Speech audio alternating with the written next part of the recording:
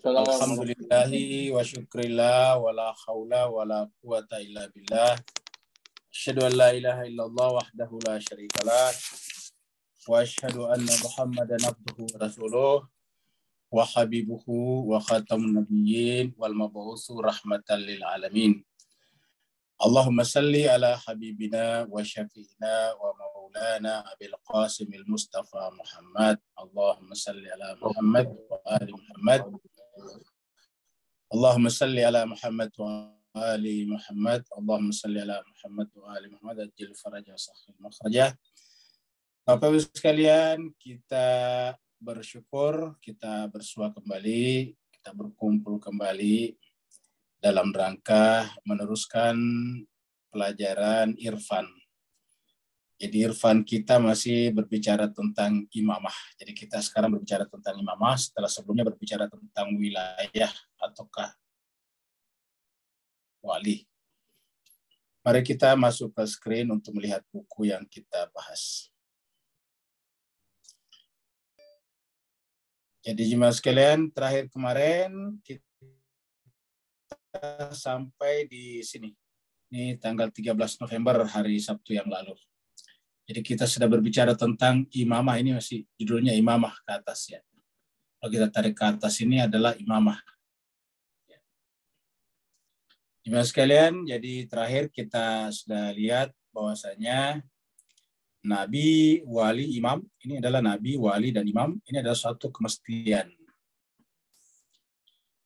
untuk mengantarkan manusia kepada ma'rifat. Jadi kita tidak bisa ma'rifat kepada Allah kalau tidak melalui mereka. Kalau seandainya kita tidak mengikuti mereka, tentu kita juga mungkin yang kita lakukan adalah menyembah-nyembah sungai, menyembah bintang-bintang, matahari, dan rembulan. Tapi karena Alhamdulillah berkat mereka, Nabi, Wali, dan Imam, mereka membimbing kita manusia, lalu kemudian kita bisa marifat kepada Allah walaupun masih dalam kadar yang sangat terbatas. Tapi intinya adalah nabi, wali, imam ini adalah suatu kemestian, keniscayaan untuk membawa manusia kepada ma'rifat ilahi. Sementara agama ini adalah ma'rifat kepada Allah. Imam Ali mengatakan awaluddin Allah. Permulaan daripada agama itu adalah ma'rifat kepada Allah. Siapa yang mengaku beragama tapi tidak ma'rifat kepada Allah, otomatis itu hanya merupakan gerakan-gerakan otomatis seperti gerakan burung beo. Burung beo juga bisa mengucapkan kata-kata tertentu, tetapi mereka tidak mengetahui apa arti dari kata-kata yang mereka ucapkan.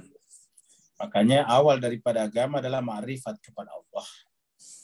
Dan karena ma'rifat kepada Allah tidak mungkin tanpa melalui nabi dan wali dan imam, berarti bisa dikatakan ma'rifat kepada Allah dimulai dengan mengenal imam, wali, dan nabi tersebut. Jadi inilah kemestian kita mengikuti nabi, wali, dan imam agar membawa kita, menghantarkan kita kepada marifat kepada Allah, mengantarkan kita kepada derajat yang tinggi dan kesempurnaan. Jadi intinya manusia ini, manusia punya dua unsur, jasad, jasadi, jasmani, dan yang kedua adalah jiwa atau disebut dengan rohani ataukah nafsani. Jemaah sekalian, jasad kita ini awalnya memang lemah, terus kemudian menjadi dewasa, kuat, lama-kelamaan jadi lemah lagi. Jadi lama-kelamaan tubuh kita menjadi lemah, yaitu menjadi tua, rentah, dan sebagainya, dan pada akhirnya tubuh jasad akan mati. Tetapi di dalam jasad kita atau bersama dengan jasad kita ada unsur lain, ada hal lain, ada senyawa lain, yaitu yang disebut dengan nafs, jiwa atau rohani kita. Nah inilah yang berkembang menuju kepada kesempurnaan. Semakin bergerak menuju kepada kesempurnaan, maka semakin tinggi derajatnya. Dan yang disebut dengan bergerak menuju kepada kesempurnaan, artinya menuju kepada dia yang maha sempurna. Allah itulah yang maha sempurna, yang dalam bahasa Al-Quran disebut dengan Al-Ghani. Ghani itu artinya maha sempurna. Kalau dalam bahasa manusia, Gani itu kaya. Tapi kaitannya dengan Allah, Gani itu artinya maha sempurna. Jadi Allah itu maha sempurna, maka tidak akan mungkin kita mencapai kesempurnaan kalau tidak mendekati yang maha sempurna. Kalau kita bisa sempurna tanpa mendekati yang maha sempurna, kan berarti ada dua pusat kesempurnaan. Dua pusat kesempurnaan kan berarti ada dua Tuhan dan itu mustahil. Jadi oleh sebab itu Nabi, Wali, dan Imam mengajarkan kepada kita tentang keesaan Tuhan sebagai satu-satunya sumber yang sempurna dan semua yang ingin menyempurnakan jiwanya harus bergerak ke sana. Gerak kita menuju ke sana namanya gerak suluk. Pesuluk. Ya, orangnya disebut dengan salik. Biasa juga disebut dengan orang yang berjalan, sair. Jadi orang yang berjalan itu adalah orang yang menuju kepada rahasia-rahasia. Sair itu menuju kepada rahasia-rahasia. Untuk mengetahui rahasia-rahasia yang oleh orang lain yang hanya berhenti pada uh, dunia yang sifatnya zohir tidak akan bisa sampai ke sana. Ini yang terakhir pembahasan kita. Sekarang kita pindah ke paragraf berikutnya. Jadi para urafa, urafa itu adalah bentuk jamak dari arif. Jadi arif bentuk jamaknya urafa. Jadi urafa artinya para arif, para penempuh jalan rohani, memandang substansi, intisari, jauhar, awal daripada ciptaan adalah roh. Yaitu roh siapa? Roh Muhammad. Roh dan nur Muhammad. Jadi para arif memandang bahwa substansi awal ciptaan adalah roh dan nur Muhammad. Nur Muhammadi. Ya, itu yang pertama diciptakan. Tadi kita sudah terangkan tadi sore berkenaan dengan cahaya. Tadi sore kita sudah bicara tentang cahaya yang kemudian bergradasi ke bawah sampai kepada materi pertama ataukah ujung daripada gradasi itu. Jadi bermula dari Muhammad. Maka ketika bermula dari Muhammad, berarti bahwa nur Muhammad nur yang paling terang. Karena nur yang paling terang, semua nur-nur yang datang belakangan adalah merupakan tajalli atau melewati dari nur Muhammad tersebut. Sehingga karena melewati nur Muhammad, maka benar yang dikatakan Al-Quran, Muhammad itu adalah rahmatan lil alamin. Seperti itu. Mereka berpandangan tentang keberadaan dua sisi roh tersebut. Jadi Bapak sekalian untuk memahami ini apa namanya fungsi mama dan wilayah, kita harus pahami ini dari sisi roh. Jadi para urafa memandang bahwa roh itu memiliki dua sisi. Rohani kita memiliki dua sisi, aspek roh. Aspek roh. Jadi ini kalau bahasa Melayu yang resmi itu sebetulnya bukan roh tapi roh ya. Tapi ini eh, pakai roh nggak apa-apa. Jadi ada roh, ada roh. Jadi kalau kita ganti-ganti menggunakan roh, roh sama saja. Mereka berpandangan tentang keberadaan roh sebagai suatu entitas, entity sebagai sesuatu yang memiliki dua sisi. Bapak Ibu sekalian seperti mata uang. Uang itu entah dolar Singapura, ringgit Malaysia, atau rupiah Indonesia, atau dolar Amerika, nanti bernilai kalau dua sisinya. Jadi satu uang tapi dua sisinya. Yes, sisi sebelah kiri dan sisi sebelah kanan. Nah begitu juga lah apa namanya eh, pandangan para urafa ini berkenaan dengan eh, hakikat roh itu mempunyai dua sisi ya yang terkait dengan roh yang ada pada diri kita. Satu sisi adalah wilayah atau wilayah. Jadi sisi pertama adalah wilayah. Ya. Jadi sisi pertama ini satu sisi adalah wilayah atau wilayah. Nah, sisi wilayah inilah yang menerima emanasi jadi bukan hanya iluminasi, tapi menerima emanasi. Emanasi itu pelimpahan. Ya, emanasi pelimpahan. Emanasi itu dari kata emanate, em, em, apa, emanate, emanation. Seperti misalnya air, apa es yang melebur itu kan emanasi namanya. Jadi kalau air es apa, mencair namanya emanasi. Nah bedanya kalau Tuhan itu emanasinya tentu tidak seperti es habis. Kalau es itu kan emanasinya habis, lama-lama esnya habis. Tapi kalau Tuhan tentu tidak akan habis. Tapi artinya bahwa eh, para wali itu adalah menerima emanasi daripada Tuhan Allah SWT. Itu dari satu sisi. Dari sisi lainnya, iya, dari sisi lainnya lagi adalah nubuah, yaitu menyampaikan emanasi kepada seluruh manusia. yang didapat dari Allah. Jadi kalau kita gambarkan begini Pak Bu sekalian ya. Nah, jadi kita gambarkan, jadi ibaratnya itu ya ini adalah ini kita bikin lagi di sini garis-garis ya. Garis pembatas ya. Antara alam rohani di sini, ya, alam rohani atau alam malakuti dengan alam dunia di sini, adik alam dunia. Jadi mas kalian kita bisa bikin ibarat ya, ilustrasi tentang wilayah di sini nih. Kita tulis begini nih ya. Anggaplah ini adalah wilayah. Nah, kita lihat di sini ada dua sisinya, ke atas dan ke bawah. Ya, di sini adalah ya adalah wujud wajib Allah Subhanahu wa taala ya Allah. Sedangkan di sini adalah benda-benda. Alam dunia kan? Alam dunia itu artinya benda-benda. Manusia dan benda-benda ya manusia. Nah, jadi manusia dan benda-benda sini Allah dan makhluk-makhluk malakuti namanya. Nah jemaah sekalian nah yang namanya wali atau wilayah seperti ini ini wilayah nih jadi kita sebut ini sebagai wali ini adalah wali ya. wali nah wali itu pertama kali dia menerima emanasi dari atas jadi wali ini adalah menerima emanasi dari atas ini, ya, menerima emanasi namanya. Ya. Faid kalau bahasa Arabnya faid. Ini adalah menerima faid, ya. Faid, ya ini faid, ya. Atau nama lainnya adalah emanasi. Emanasi itu adalah tadi apa melebur ya, seperti es mencair namanya emanasi. Faid atau keemanasi jadi Allah terhadap menerima emanasi. Jadi wali ini menerima emanasi dari Allah. Emanasi dari Allah ini yang dibicarakan di dalam surat Al-Baqarah ayat 31 yaitu Allama Adam.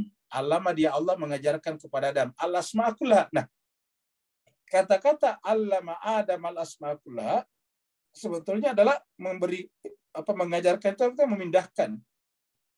Allah memindahkan, mentransfer mentransformasikan apa namanya asma-asma Allah ke dalam diri para wali itu tadi. Jadi sudah dengan emanasi jadi meleburkan. Kalau es tadi mencairkan dirinya ke dalam para wali. Yang namanya es, walaupun dia membukukan sifatnya air basah. Nah, Allah ini adalah sempurna. Dia mengemanasikan, memfaidkan kesempurnaannya ini kepada wali. Sehingga wali ini menjadi sempurna juga cuma sempurna sebagai hamba. Ingat, sempurna sebagai hamba. Sempurna sebagai makhluk. Ya, tentu sempurnanya sempurna yang sifatnya turunan dari sempurna pertama. Ini sempurna yang asli. Ini sempurna hakiki. Sempurnanya ini adalah mendapatkan limpahan emanasi kesempurnaan dari Allah ke. Nah, apa namanya hasil emanasi kesempurnaan atau faid daripada Allah yang diterima oleh wali, lalu kemudian diteruskan kepada manusia. Ya, ini diteruskan kepada manusia. Ya. Jadi inilah.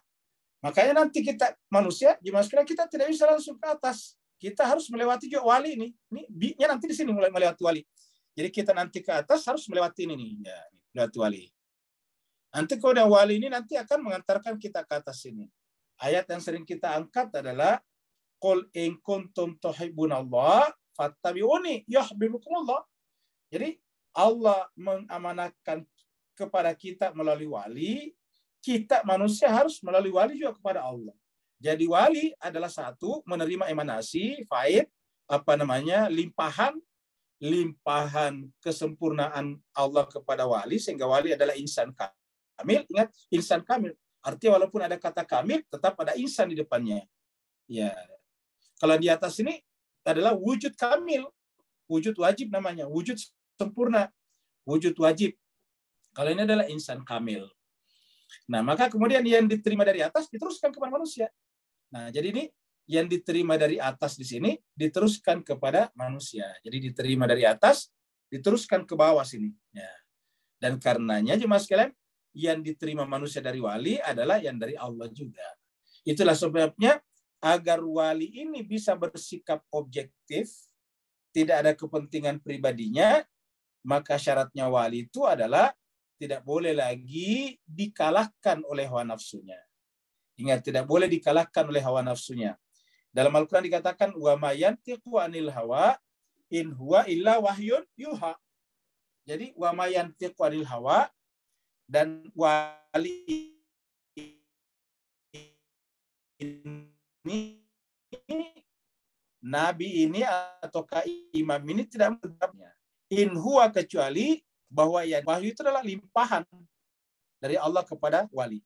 Ingat, kalau kita membaca Al-Quran kan membaca kata-kata saja. Kalau wali atau nabi menerima wahyu itu menerima semua hakikat daripada ayat-ayat itu. Jadi artinya ayat-ayat itu bukan hanya diterima nabi sebagai kata-kata, tapi diterima sebagai hakikat.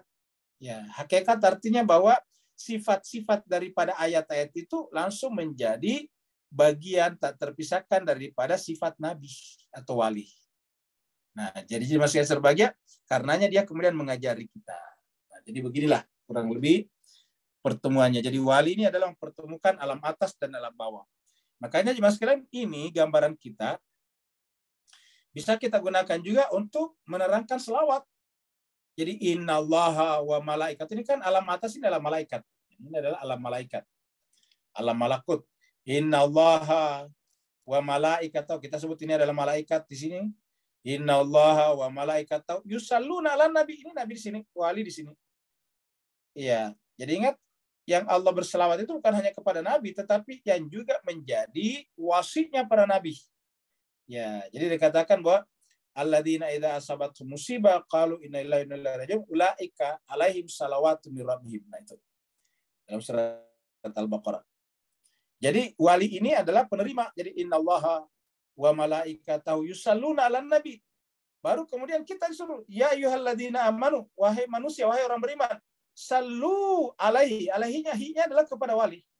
Hi-nya itu adalah domir, kata ganti untuk nabi atau wali. atau para imam. Jadi, selawatlah kepadanya. Jadi, selawat kepadanya. Jadi kita juga kalau baca doa doa faraj itu kan minta selawat kepada Nabi. Allahumma kul liwalika al-hujjat ibnil Hasan. Salawatuka alaihi wa ala abaihi. Jadi salawatuka salawatmu Tuhan.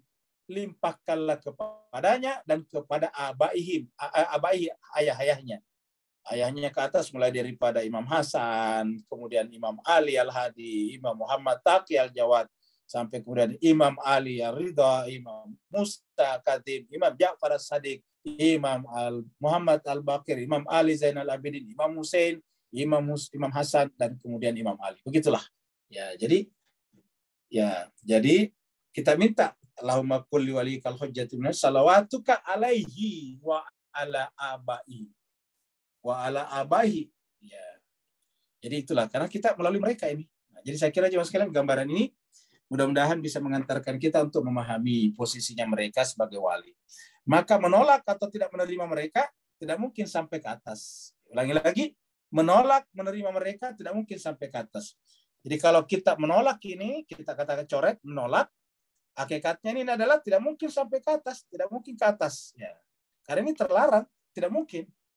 Nah, ketika tidak mungkin ke atas karena menolak ini, inilah yang disebut dengan sesat. Inilah yang disebut dengan dimurkai. Ya. Kalau dalam kesesatannya itu melakukan kejahatan, disebut dengan maghdub.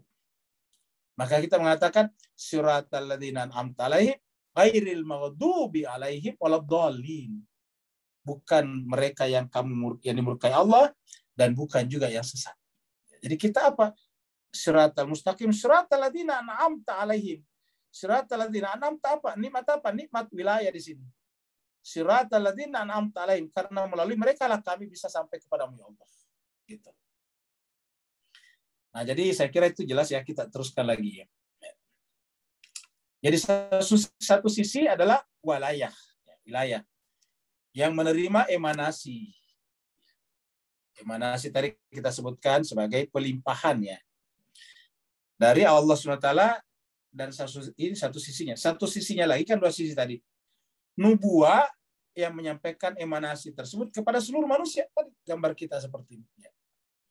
Menerima baru diteruskan kepada manusia. Kepada seluruh manusia yang didapatkannya dari Allah SWT. Jadi menerima satu sisi dia adalah menerima. Jadi yang pertama adalah menerima, ini menerima. Ya. Kemudian satu sisinya lagi, ya, satu sisinya lagi ya, adalah menyampaikan. Jadi satu sisinya lagi adalah menyampaikan, ya, ini adalah menyampaikan. Ya. Ini menyampaikan.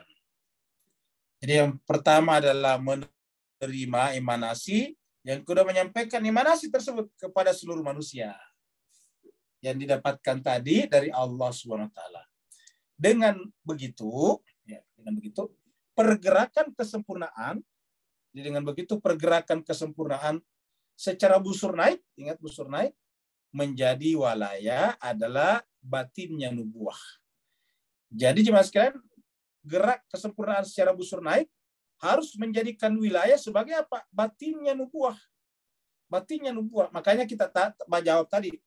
Pertanyaannya Pak Nur, apakah terjadi gradasi dari Nabi kepada para wali, para imam yang lain? Kita katakan tidak, karena itu satu kesatuan. Ya. Di sini dikatakan bahwa itu adalah merupakan batinnya nubuah. Ya. Jadi pergerakan kesempurnaan secara busur naik, maksudnya mengikuti busur naik, ya itu menjadikan wilayah adalah sebagai batinnya nubuah. Batinnya kenabian. Jadi artinya apa jemaah sekalian? Menolak wilayah para imam atau para wali Allah itu, wali Allah itu, pada dasarnya adalah menolak batinnya nubuah. Ketika menolak batinnya nubuah, ya berarti agama yang kita gunakan hanya seperti agama jasa dia. Bayangkan Pak sekalian kalau ada orang jasadnya doang. Jasadnya saja. Ya, tidak ada rohnya batinnya. Kalau ada orang yang jasadnya saja tidak ada batinnya, kan namanya sebetulnya adalah mayat. Ya. Itu namanya mayat. Maka Nabi mengatakan, jangan khawatir, ada mayat yang berjalan. Ya. Jadi kenapa beragama tapi menolak batinnya? Beragama hanya menerima zohirnya saja. Dan jemaah sekalian, inilah sebetulnya yang selalu diceritakan dalam Al-Quran orang yang menolak batinnya agama nanti di akhir di akhirat itu mohon maaf di dalam Al-Quran dianggap sebagai bagian daripada kemunafikan. Mari kita lihat ayat di sini. Begitu pentingnya ini. Ya. Kita lihat surat 57. Surat Al-Hadid ini 57. Kita lihat mulai daripada ayat 11 ya. Ayat 12 ya. Allah berfirman, jadi kita lihat. Oke. Maka Yauma pada hari itu taral mukminina pada hari itu di akhirat maksudnya taro kamu menyaksikan kamu melihat. Al mukminina orang mukmin laki-laki. Wal mukminati dan mukmin perempuan. Mukmin laki-laki dan mukmin perempuan ya Mukmin laki-laki dan mukmin perempuan. Yas'a nurhum. Ya, jadi mereka yas'a itu adalah berjalan dengan cepat. Ya. Bersama dengan nurhum. Jadi sebetulnya secara Arabnya nuruhum yas'a. Jadi yas'a ini adalah kata kerja, pelakunya nur. Jadi sebetulnya dia berjalan bagaikan cahaya. Dia adalah cahaya dan sekaligus berjalan bagaikan cahaya. Jadi itulah orang mukmin. Berjalan di mana? Melewati titik sirat. Bergerak dari pada masyar menuju kepada sorga atau neraka. Kalau dia orang beriman, maka dia sampainya ke sorga. Kalau dia tidak beriman, jatuh ke dalam lembah neraka. Nah, jadi kita lihat. Pada saat itu kau menyaksikan orang mukmin laki-laki dan mukmin perempuan, yas'a nurhum. Cahaya mereka memancar baina aidihim dari samping kanan mereka. Dari samping kanan mereka. Kemarin kita sudah terangkan bahwa nanti di akhirat orang yang mengenal imamnya dengan benar akan menerima kitabnya dari sebelah kanan mereka seperti ini. Ya. Yauma nad'u kullu nasim bi imamihim. Famay yaqra yaqra kitabahu siapa yang baca kitabnya berarti dia menerima kitabnya dari sebelah kanan. Jadi yas'a nurhum baina aidihim dari depan atau dari hadapan mereka. Wa bi aimanihim dan dari sebelah kanan mereka. Jadi depan dan kanan aimanihim. Ini siapa orang mukmin? Jadi orang mukmin memancarkan cahaya. Kita lihat memancarkan cahaya di sini. Nur ini adalah cahaya. Yas'a nur. Jadi ingat cuma sekalian, nurnya di sini ada ya. Ini nur ini. Nurhum, nur mereka. Baina aidihim wa bi aimanihim busyrakumul yaum. Jadi penjaga sorga kemudian menyambut kedatangan mereka dengan berkata busyrakumul yauma kabar gembira bagi kalian hari ini. Kita biasa menggunakan bahasa kita adalah selamat. Ya, kalian adalah termasuk orang-orang yang beruntung pada hari ini. Kalau di sini bahasanya bushra yaum. Kabar gembira bagi kalian tuh hari ini. Artinya kalian termasuk orang-orang yang beruntung pada hari ini. Apa sebabnya? Jannatun berhasil menggapai, mencapai sorga. Jadi berhasil mencapai sorga jannatun ya.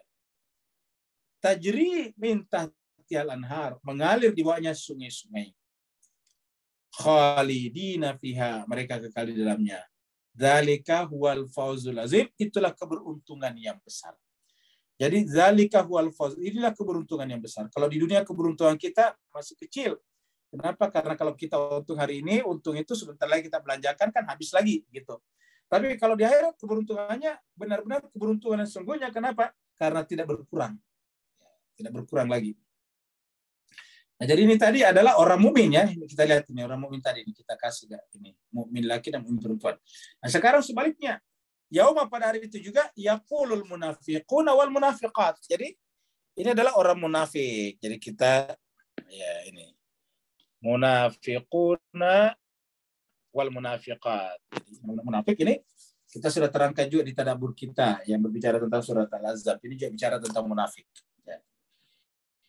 Pada hari itu orang munafik laki-laki dan munafik perempuan berkata ya, kepada siapa? Lilladina amanu kepada orang beriman. Jadi berkata kepada orang beriman yang tadi di sini. Berkata kepada orang mukmin mukmin laki-laki dan mukmin perempuan. Apa kata mereka? Jadi berkata nih ya puluh berkata kepada orang munafik laki dan perempuan maksudnya ber, orang munafik laki dan perempuan berkata lilladina kepada orang yang amanu beriman. Apa katanya? Unzuruna. Wahai sahabat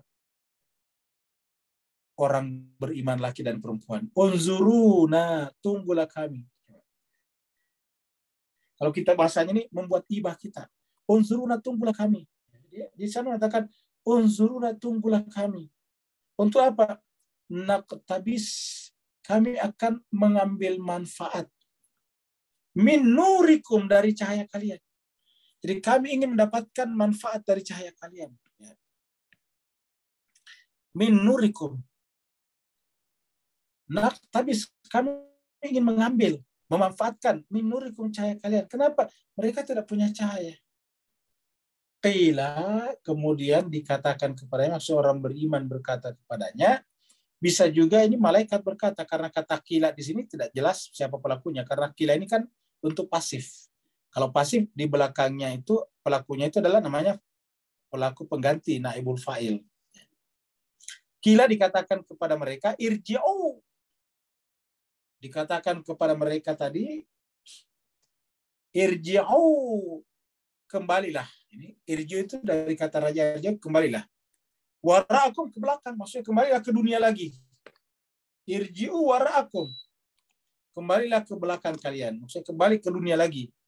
Faltamisu nuran. Dan di sana carilah cahaya.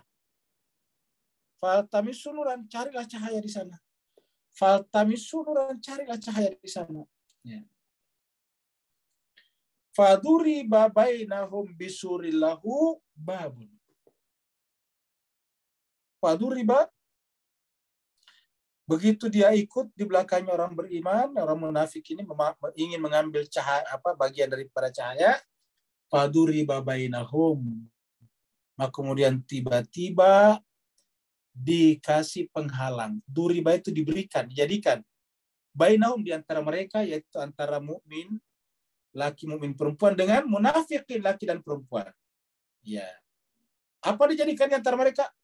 Surin, dinding pemisah, lahu baginya. Nah, sehingga kemudian dinding pemisah itu sekaligus menjadi pintu. Pintu bagi orang beriman masuk ke dalam surga tadi, jannatun tadi di sini, ya. Sebaliknya, ya, sebagai pintu penghalang bagi mereka tadi yang munafik. Nah, perhatikan juga sekali kata-kata di sini. Batinuhu fihi rahmah. Ya. Batinnya apa maksudnya di sini? Bahwa beragama itu batinnya itulah yang melahirkan rahmah. Batinuhu fihi rahmah. Batinnya itulah yang padanya ada rahmat. Sedangkan zohirnya, zohiruhu adalah adab. Jadi batin itu adalah melahirkan rahmat. Jadi kalau kita beragama pada zohirnya saja, ini bisa mengarah kepada azab. Dan ini disampaikan di dalam Al-Quran. Fawailul lil musallin. Celakalah orang musallin. Apa itu orang musallin? Orang salat tetapi celaka. Apa itu celakanya azab? Kenapa? Alladinahum an salatim sahun. Alladinahum yura'un. Mereka itu salat tapi lalai dari salatnya karena mereka salat yura'un hanya untuk dilihat. Kata hanya untuk dilihat kan berarti zohirnya saja zahiruhu min kibalihil adab. Batinnya melahirkan rahmat. Rahmat itu bisa diartikan Nabi Muhammad kita ini batinuhu. Jadi batinuhu ar-rahma. Batinuhu ar-rahma. Ya. Ini. Batinuhu ar-rahma. Sedangkan zahiruhu. Sedangkan zahiruhu zahirnya adalah adab ini kita lihat di sini adab ya. jadi batinnya adalah rahmat zahirnya adalah adab ya. dan juga sebagai ini yang di berkali-kali Tuhan menyebutkan dalam Al-Quran betapa banyak orang beragama itu hanya di tepi-tepi saja cari zahirnya saja ya.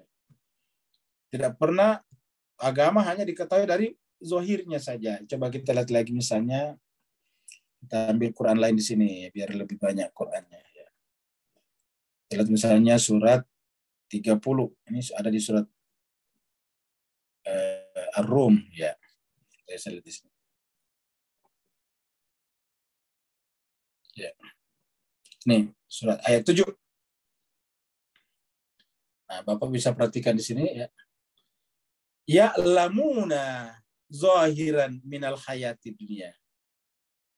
Mereka itu hanya tahu zahirnya kehidupan dunia. Jadi hanya yang zahir saja. Ya lamuna zahiran minal hayati dunia. Ya. Wahum anil akhirati hum ghafilun. Batinnya apa? Berkaitan dengan akhirat. Akhirat itu adalah dibalik yang batin. Ya, jadi dunia ini adalah zahir. Sedangkan akhirat berkaitan dengan batin. Jadi apabila kita beragama secara sempurna, tentu yang benar zohir dan batin. Ya, kalau bahasa awamnya dunia dan akhirat. Tetapi banyak orang yang beragama hanya dunia saya, zohirnya saja, meninggalkan batinnya. Ya. Nah inilah jemaah sekalian bahagia yang menjadi problem ya dalam kehidupan kita. Nah orang-orang yang beragama hanya pada zohirnya saja, Al-Quran pun hanya menjadi menjadi kerugian bagi mereka. Contohnya kita lihat di sini surat 17 ya. 17 ya. Ayatnya ayatnya 80. Ya. Nah, kita lihat. Allah berfirman, "Wa nunazzilu minal Qur'an." Dan kami turunkan daripada Al-Quran itu mahuwa shifaun. Di antara fungsinya Al-Quran, mahuwa ada pada Al-Quran itu apa? Shifa, penyembuh. Dan apa? Warahmatun. Ini tadi rahmat. Kalau rahmat tadi kan batin. Ingat tadi ayatnya batinuh. Ingat, kita lihat sini. Batinuh fihi rahmat. Berarti ketika Al-Quran mengatakan, ya, ketika Al-Quran mengatakan di sini adalah rahmat kan berarti batinnya. Wa nunazzilu minal Qur'ani ma huwa syifaa'un wa rahmatun. Dan kami turunkan dari Al-Quran itu di dalamnya adalah syifa dan rahmat. Rahmat bagi siapa? Lil mukminin tadi. Ya. Sama tadi surat Al-Hadid. Nah, sedangkan Al-Quran bagi mereka yang zalim, artinya zalim itu batinnya zalim. Zahirnya saja yang diterima. wala yazidu zalimina illa khasara. Sedangkan mereka yang hanya beragama pada zohirnya saja dan membiarkan batinnya ber, ber, ber apa namanya berkutat bergumul pada kezaliman maka tidak bertambah apa-apa dalam baca Al-Quran kecuali khasara, kecuali kerugian. Wala yazidu zalimina illa khasara. Ya, tidak akan bertambah bagi mereka kecuali hanya kerugian saja. Kenapa? Karena tidak mengobati penyakitnya tadi. Dan karena tidak bisa menjadi rahmat. Ya. Ini adalah surat Al-Isra 17 ayat 82. Ya. Kita lihat lagi saya surat 7 di sini.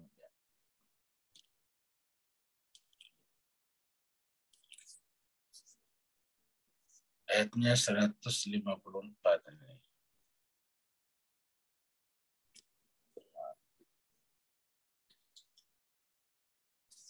Suratnya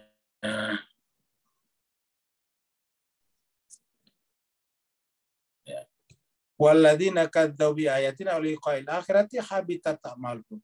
Orang-orang mendustakan ayat kami, mendustakan kan jiwanya. Dan berjumpa dengan akhirat ini tadi akhirat kan berarti batin tadi akhirat. Masih ingat tadi Pak Ustaz. Orang-orang mendustakan ayat kami kan batinnya tadi. Akhirat tadi batinnya. Maka apa kata Allah? Habitat amalum. Sia-sia amal perbuatannya. Ya. Dan itu adalah sesuai dengan perbuatan mereka. Nah, jadi seperti itulah. Jadi intinya cuma sekalian, agama tidak boleh berhenti pada zohirnya saja, tapi harus lahir dan batin seperti tadi dalam ayat ini. Batinuhu fihi rahmah, wa zahiruhu min kibalihi al-adab.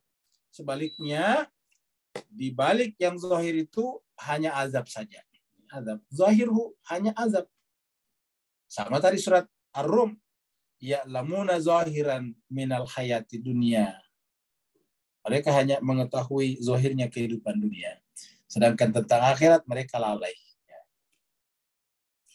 Jadi saya kira cuma sekalian contoh-contoh itu sudah cukup ya untuk menyampaikan kepada kita. Jadi kita kembali lagi ke sini bahwa satu sisi tadi wilayah tuali menerima emanasi dari Tuhan.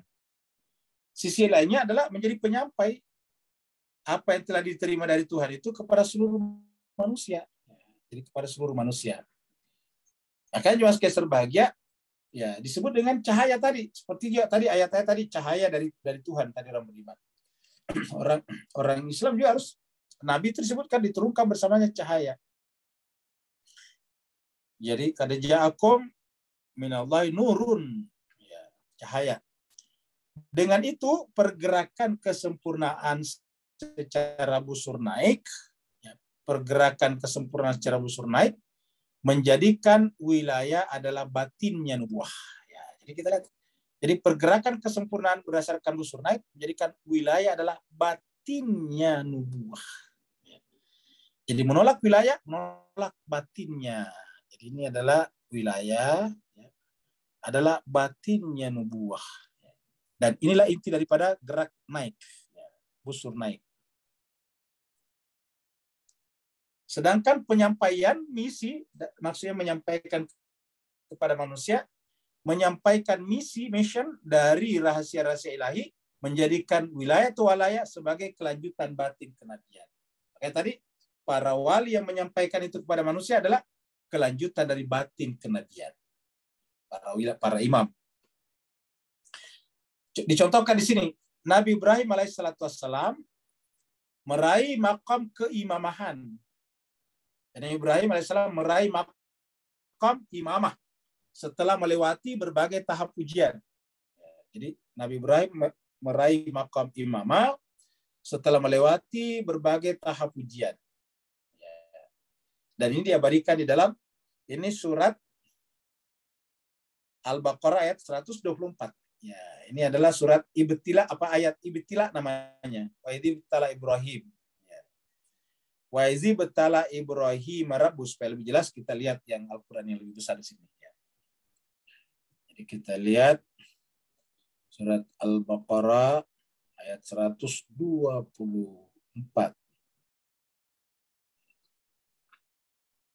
Wa izi betala ya. Jadi karena ada kata ibtala disebut dengan ayat ibtila. Wa ibtala dan ingatlah tatkala ibtala Ibrahim. Rabu, ini Rabu ini pelakunya.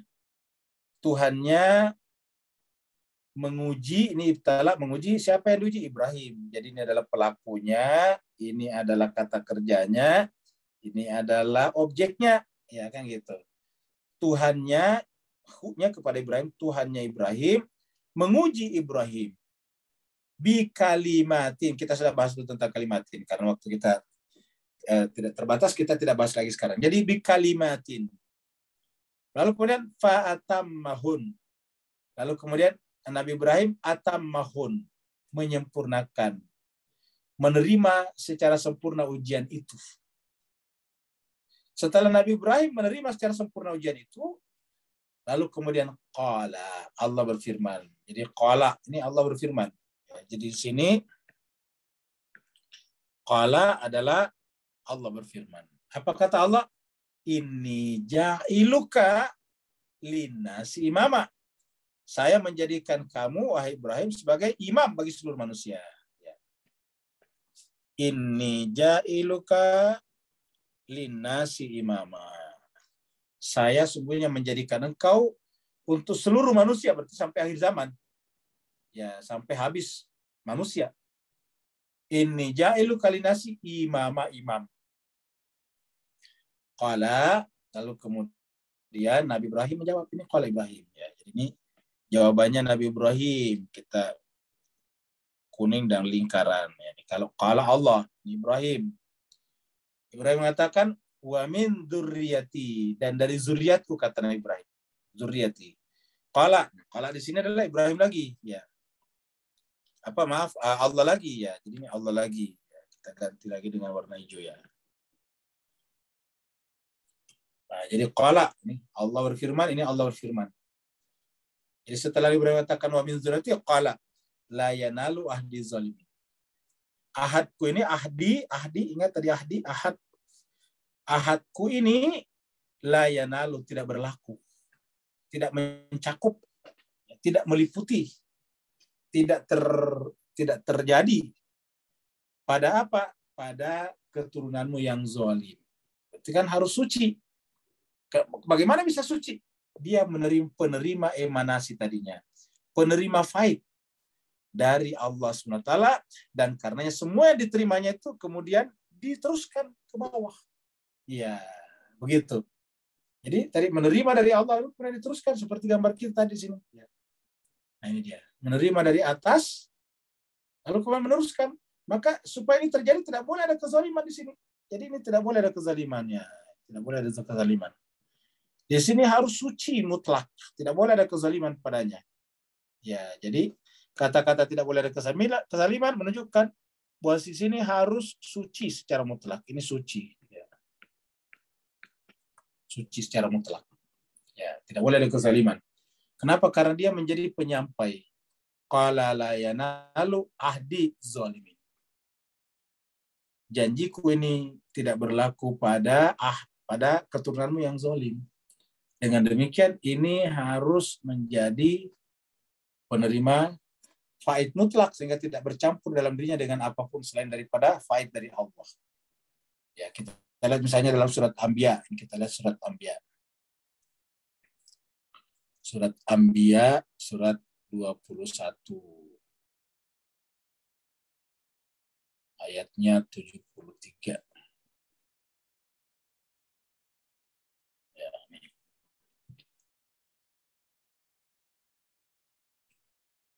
Ini surat Ambiya surat 21 ini. Ambiya 21 ya. Ini adalah 21 ayatnya 73 ya. Waja'alnahum dan kami jadikan mereka aima. Aima ini adalah bentuk jamaah dari imam-imam tadi. Nabi Ibrahim tadi imam karena satu. Waja'alnahum aimatan. Berarti aimatan siapa? Ya, zuriat Ibrahim tadi. Jadi berdasarkan tadi ya berdasarkan tadi surat 2 ayat 124 ini adalah zuriat ya ini adalah zuriat zuriat Ibrahim ya. baik dari eh, Ishak terutama dari Ismail. Jadi zuriat Ibrahim. Kami jadikan mereka aimma, imam-imam. Apa tugasnya imam-imam? Yahduna membimbing manusia. Yahduna itu memberi petunjuk tadi, ingat. Ingat tadi ini, fungsinya ini ke bawah. Tadi ini kita lihat.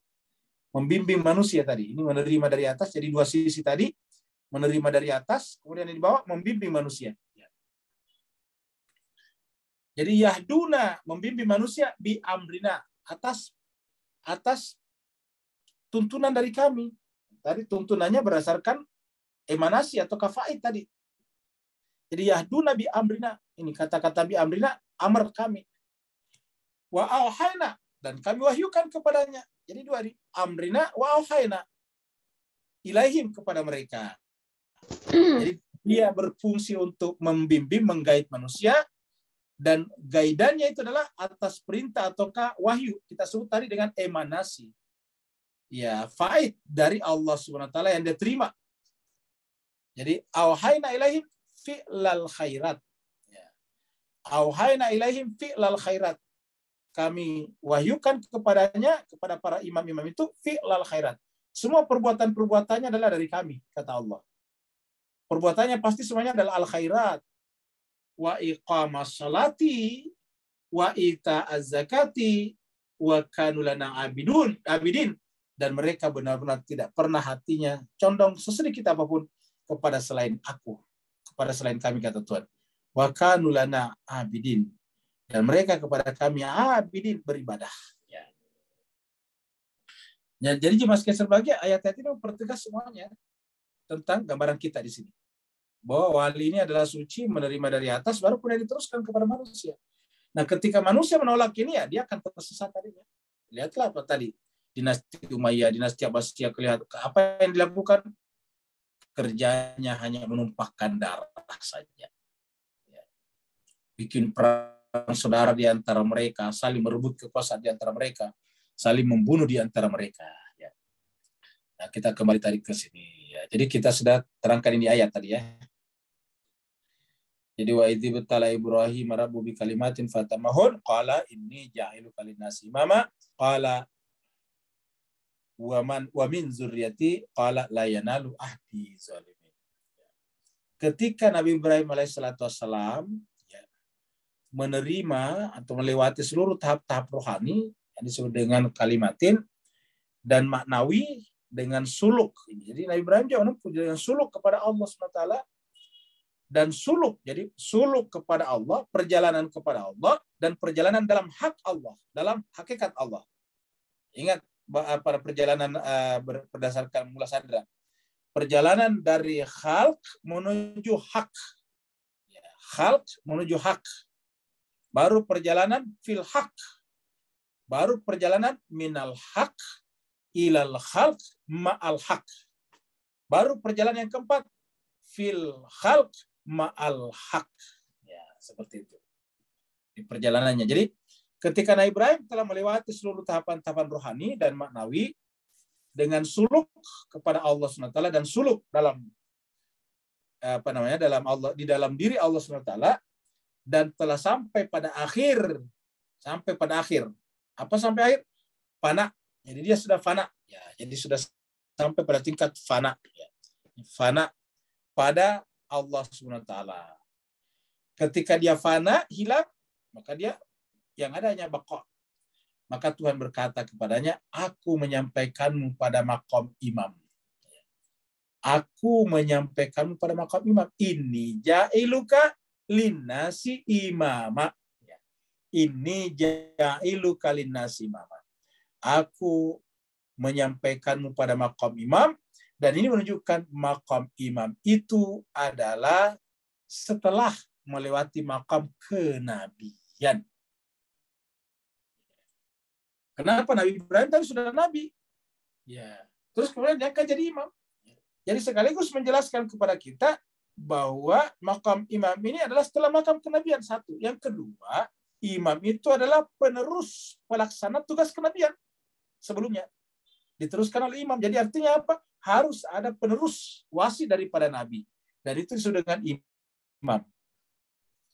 Jadi aku menyampaikanmu pada makam imam yang merupakan bakok ya sesudah fana. Jadi fakah sesudah fana tadi pada diri Tuhan dan rujuk dari Allah SWT kepada makhluk. Jadi rujuk itu kembali. Ya kita sudah terangkan sebelumnya dari makhluk kepada al-haq.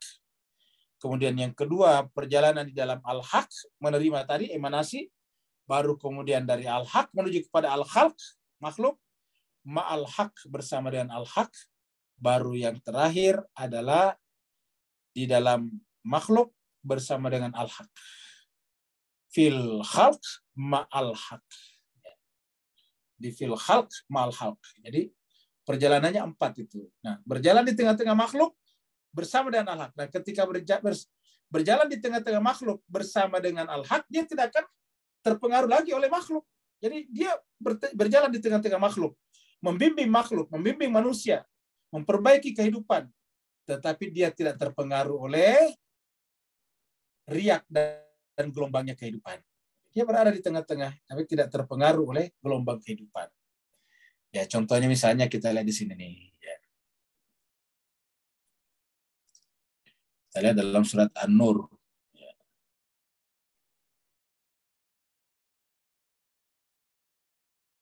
Ini ayat 35 dulu kita lihat. Ini kita Allahu nur samawati wal ard yang kita sudah terangkan ini. Terus kemudian di ayat berikutnya Kejadian nur itu adalah fi buyutin di, rumah-rumah. Azinallahu an turfa'a wa yudhkara fiha ismuhu. Itu kejadiannya tadi nur Allah nur sama itu adalah di rumah, di bait-bait. Berarti kan ahlinya nanya ahli bait. Adina Allah, Allah mengizinkan anturfa untuk diangkat setinggi-tingginya. Wa yudhkara untuk disebutkan fiha padanya ismuhu namanya. Jadi di rumah itu ada namanya. Yusabbihu lahu fiha bil wal asal.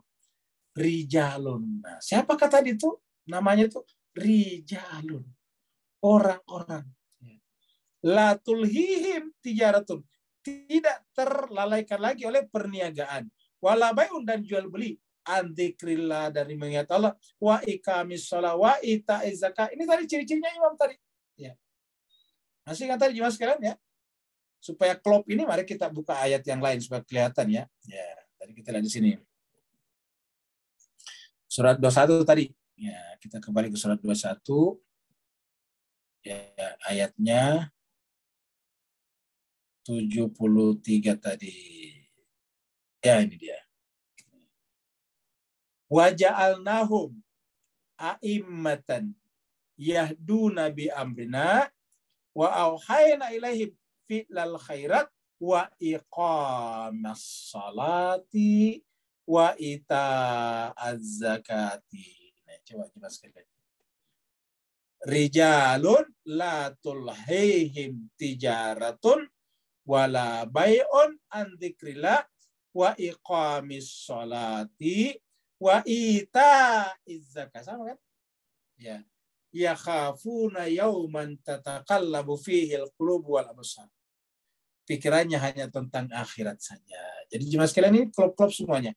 Ya jadi kita kembali lagi kata Allah firman Allah kepada Ibrahim wa Ibrahim aku menyampaikanmu pada makom imam setelah kenabian yang merupakan bakok sesudah fana dan rujuk kembali dari Allah SWT kepada makhluk. Ya, kita sudah terangkan dulu sebelumnya. Ya, kalau tidak salah pernah kita gambar dulu di sini. Ada gambar kita dulu di sini. Ya, ini dia. Ini, saya ada nih.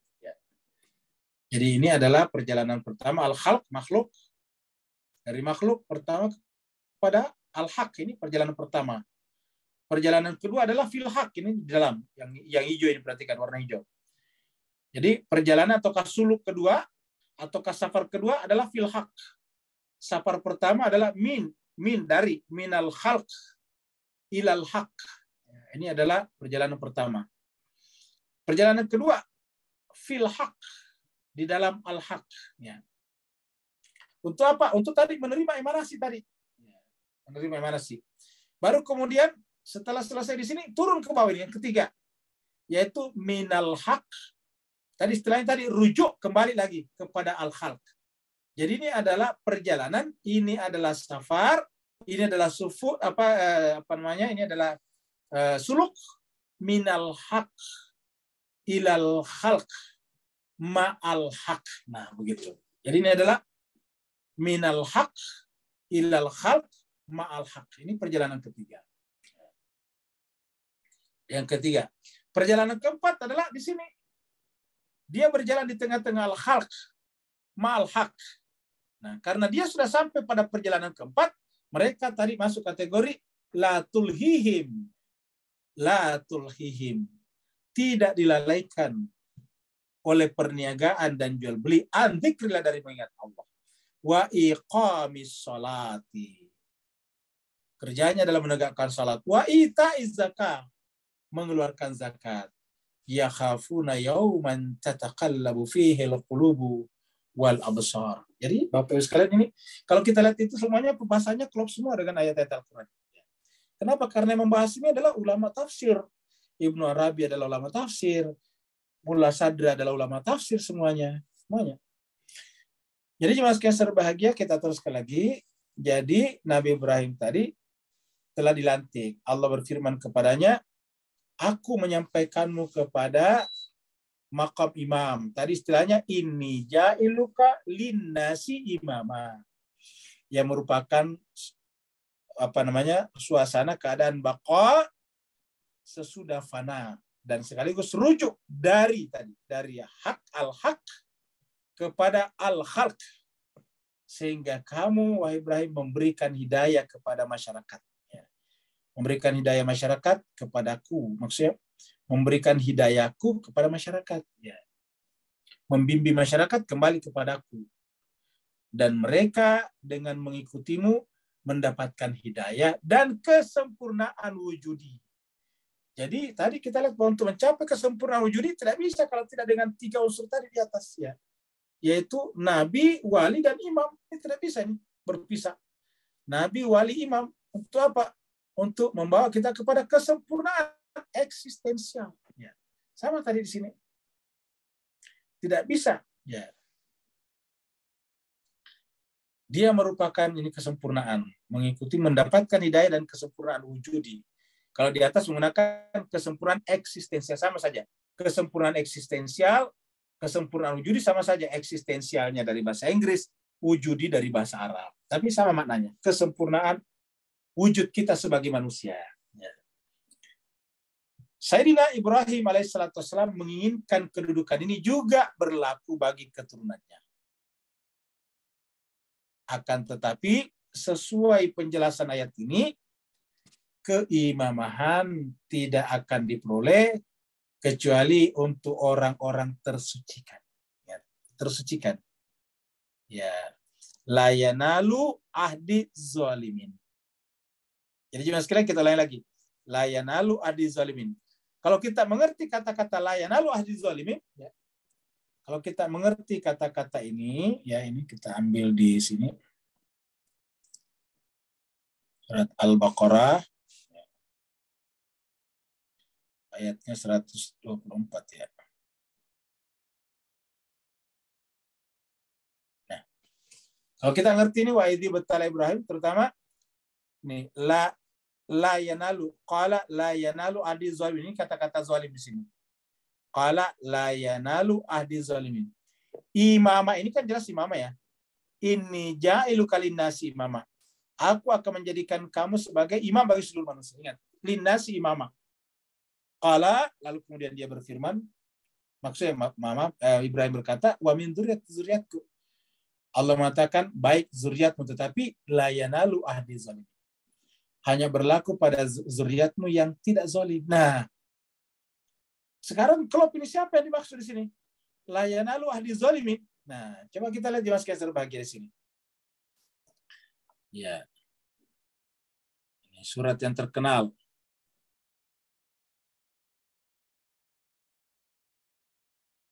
Nah, jadi jemaah sekalian kita langsung ke bagian terakhir. Innama yuridullahu liudhiba angkumur rijsa. Innama hanya saja yuridullah Allah inginkan adalah liyudhiba untuk menghilangkan angkum dari kalian. Arrijasa ya kotoran. Kan rijasa ini adalah apa disebabkan oleh kezaliman tadi. Jadi hanya saja yang Allah inginkan ialah li untuk. Li-nya ini adalah lamu taklil li untuk. Li hiba untuk menghilangkan apa? Angkum dari kalian. Arijas kotoran-kotoran jiwa. Ya jadi ini adalah menunjukkan keterpeliharaan dari zolim dari noda. Siapa? Ahlal baiti. Wa yutahhirakum tathira dan mensucikan kalian dengan suci-sucinya berdasarkan ayat ini kita tahu siapa yang dimaksud sini wa min dan berlaku la yanalu ahli zalimin jadi yang dimaksud tidak ada lain kecuali zuriat nabi tadinya dan kalau kita kembangkan dengan ayat lain Al-Quran ini adalah suci. La yamassu ilal mutahharun. Nah, mutahharun. Siapa mutahharun? Ya, kembali lagi ke sini. Wa yutahhirakum tathira. Ya. Al-Quran itu la yamassu ilal mutahharun. Kenapa? Tidak ada yang bisa menerima faid emanasi di sini dari Allah dari sini kalau bukan orang suci jadi orang suci menerima ya la yamassu ilal mutahhar masuk menerima dari apa dari Allah kecuali orang mutahhar la yamassu illal mutahhar, bukan mutahhir, mutahhar. Ya. Lalu kemudian menyampaikan kepada kita. Jadi cuma sekalian, Nabi wilayah imam adalah merupakan inti substansi jauhar kor daripada Al-Quran. Tidak lagi yang lain. Ya. Maka cuma sekalian menolak imam itu adalah ini fatal akibatnya. Jadi sesuai dengan penjelasan ayat ini, imamah tidak akan diperoleh kecuali untuk orang-orang yang tersucikan. Oleh karena itu, imam dari segi batin adalah wilayah, walayah. Jadi imam dari segi batin adalah wilayah yang tugasnya memberikan, membimbing, memberikan hidayah batin kepada masyarakat. Membimbing, memberikan hidayah batin kepada masyarakat. Jadi tanpa menerima imamah, batin kita tidak mungkin jemaah sekalian. Ya, itulah sebabnya mereka sangat penting, sangat penting bagi kita. Ia tidak sama dengan nabi yang memberi petunjuk dan jalan kepada masyarakat secara lahir. Yani imam tidak hanya menunjuki jalan, bahkan menyertai masyarakat dan menyampaikan mereka kepada tujuan. Inilah yang menyebabkan Imam Hussein berada di tengah-tengah masyarakat walaupun risikonya seperti itu. Kalau Imam Hussein mencari selamat sendiri, ya berhenti aja seperti itu. Diam saja dan memberikan bayatnya kepada Yazid, selesai. Selamat. Tetapi dia datang untuk apa? Menunjuki jalan kepada masyarakat. Agar masyarakat itu sampai kepada tujuannya. Apa tujuannya? Menyempurnakan jiwa maka ketika Imam Hussein mengatakan hal min nasrin suruni, artinya masih adakah orang yang mau menolong saya untuk saya bawa kepada Allah menjadi manusia sempurna juga, sempurna jiwanya. Ya. Jadi ini merupakan makna tajali dari ayat waja'alnahum a'immatan. Tadi kita sudah angkat juga surat Anbiya. Waja'alnahum a'immatan yahduna bi amrillah. Dan ayat ini berkali-kali muncul dalam surat As-Sajdah juga ada nih, ya, surat As-Sajdah. Kita lihat di masukkan serbagia surat As-Sajdah, surat 32. Ini kalau di tadabur kita baru melewatinya. Ya. As-Sajdah, ya ini ayatnya 25. Ya. Surat As-Sajdah ya. Ini apa nih bukan ya? Mana ayatnya? Ini ayatnya berarti sekitar 15 dulu ya.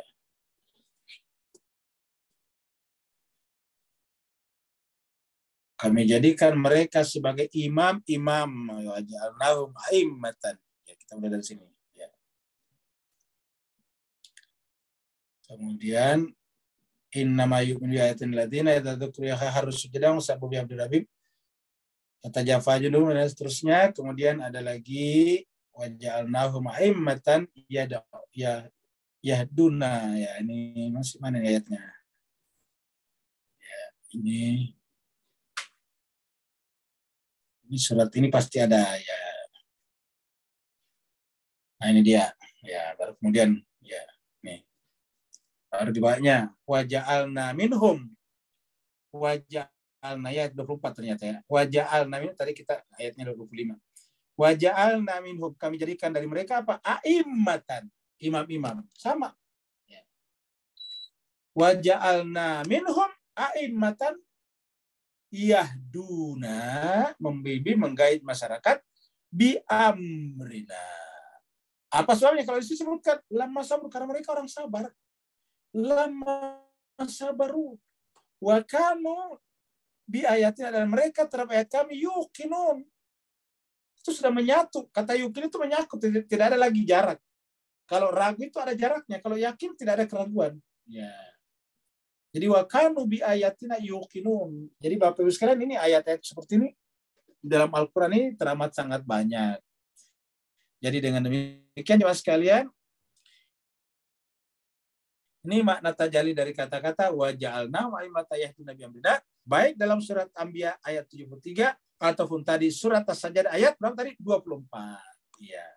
Maka para wali Allah yang menempati makam wilayah merupakan pelanjut dan penyambung mentari cahaya kenabian kepada seluruh alam dan manusia. Kita ulangi lagi, para wali Tuhan yang menempati makam wilayah merupakan pelanjut dan penyambung mentari cahaya kenabian kepada seluruh manusia.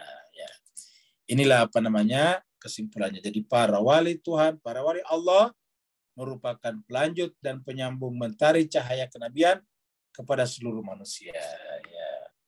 Dan inilah pembahasan kita pada hari ini, yaitu tanggal 20. Ya.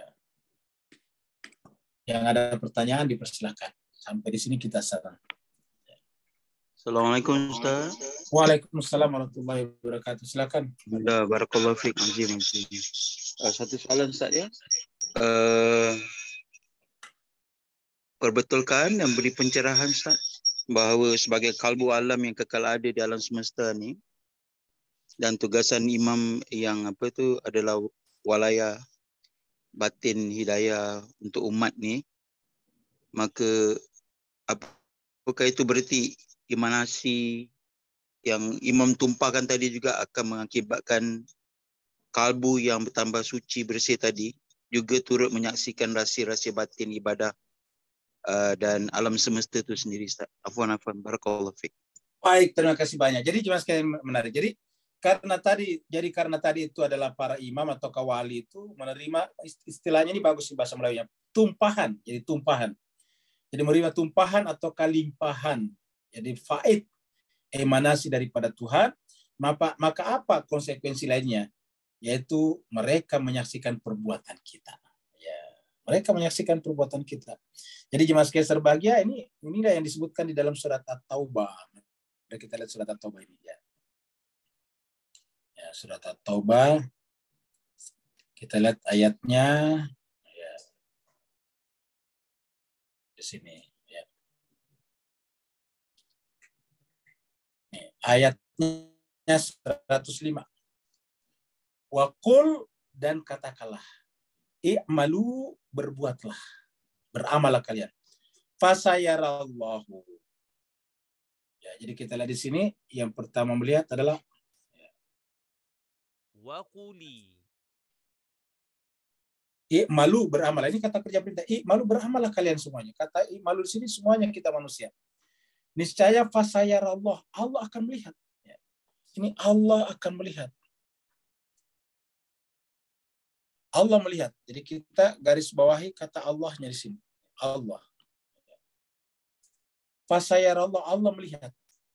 Apa yang lihat? Amalakum, amal kalian. Allah melihat amal-amal kalian. Kita, amal kita ini. Apakah hanya Allah saja? Tidak. Wa rasuluhu. Rasul juga menyaksikannya. Jadi Rasul juga menyaksikannya di sini. Rasul. Apakah Rasul saja? Ini juga wal mu'minun. Orang mukmin juga ini. Ya. Jadi tiga komponen di sini Pak Bu sekalian. Allah, Rasul, dan orang mukmin menyaksikan amal-amal perbuatan kalian tersebut. Ya. Nah, kalau begitu orang mukmin mana yang dimaksud di sini? Nah, Mas sekalian, kita ingat surat Al-Maidah ayat 55. Innama waliyukumullah wa rasuluhu walladzina amanu alladzina yuqimuna shalah wa yu'tuna wa hum rakiun. Jadi orang beriman yang Rasul siapa? Imam Ali dan wasi-wasinya sampai yang ke-12. Ya. Jadi fasayarallahu amalakum wa rasul. Jadi dia menyaksikan kita. Fasayarallahu amalakum wa rasuluhu wal mu'minun. Nah, inilah juga tiga unsur inilah yang tahu siapa orang munafik yang sungguhnya. Inilah yang dimaksud di dalam ayat sebelumnya ini kan surat At-Taubah ayat berapa tadi ini ayat 100 eh, apa namanya tadi 105. Nah, kita lihat sebelumnya. Ini 105. Mari kita lihat ayat 100. Ya, ini kita ke atas ya. 101 nih. Ya. 105 tadi. Wa mimman haulakum. Dan di antara orang-orang ada di sekitar kalian di tengah-tengah yang mengaku mukmin itu seperti kasus kita di surat Al-Azab yang kita bahas tentang orang munafik di perang Khandaq Wa mimman haulakum dan di antara orang-orang di sekitar kalian minal Arab ada orang-orang Arab. Arab dusun, pedalaman. Tetapi ini Arab munafikun, keterlaluan munafik. Tapi apakah hanya Arab saja dari dusun? Tidak. Wa min ahli Madinah. Dari penduduk Madinah juga. Dan kita sudah kita sudah sudah pelajari surat Al-Azab kemarin tentang perang Khandaq. Perang Uhud juga mereka lari.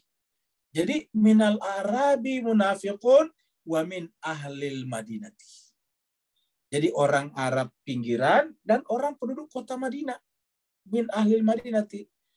Bahkan setelah disebut munafiqun, disebutkan maradu ala nifak. Sungguh keterlaluan dalam kemunafikannya. Tapi di sini ada kata-kata la ta'lamuhum. Kalian tidak tahu mereka tidak mengenal mereka. Ini banyak di antara umat Islam tidak mengenal mereka. Tapi apa kata Allah? Nahnu na'lamuhum. Kata nahnu kami. Nah siapa itu kami kira-kira jawab sekalian? Kami di sini adalah tadi yang tiga itu, yang 105 di bawah ini. Nahnu na'lamuhum. Siapa nahnu na'lamuhum? Ini persis sama. Nahnu na'lamuhum ini terjawab di ayat 105 tadi. Ya. Nahnu. Ya. I'malu beramallah. Fasayarallahu amalakum wa rasuluhu wal mu'minun wasaturaduna ila alimil ghaib syahada fayunabbiukum bima kuntum ta'malun. Akan dikembalikan kepada Allah dan kalian akan diadili berdasarkan apa yang kalian kerjakan itu. Siapa yang menyaksikannya? Allah, Rasul, dan orang beriman. Allah, Rasul, dan orang beriman, itulah yang dimaksud di dalam ayat ini juga. Ya. Innama waliyukumullahu wa rasuluhu walladzina amanu alladzina yuqimuna shalah. Jadi satu adalah Allah. Yang kedua Rasulullah, yang ketiga orang beriman. Imam Ali kan yang dimaksud di sini. Jadi Bapak sekalian ini klub klub semuanya dan klub juga dengan surat ayat ini. Ya, kita lihat surat ini. Ya. Ya, ayatnya 7 ya. Pada saat ini surat Al-Bayyinah ini ya, turun Innalladzina amanu wa amilus salihat. Sungguhnya orang beriman dan beramal saleh, ulaika hum khairul bariyah. Orang beriman ini dan beramal saleh khairul bariyah. Ketika Nabi Nabi ditanya, orang di sekitar Nabi bertanya, Rasulullah, siapakah yang dimaksud dengan amanu wa amilus salihat dan disebut dengan khairul bariyah, sebaik-baik makhluk. Ulaika hum khairul bariyah. Mereka itulah sebaik-baik makhluk. Dalam tafsir Tabari kita bisa baca. Kemudian Nabi mengatakan Ali washi atuhu. Ketika ditanya, siapakah manhum? Siapa mereka itu? Yang disebut dengan khairul bariyah, yang disebut dengan innalladzina amanu wa amilus solihati ulaika hum khairul bariyah. Manhum? Siapa mereka itu? Nabi mengatakan ulaika atau kahum aliyun washi atuhu. Ali dan syiahnya.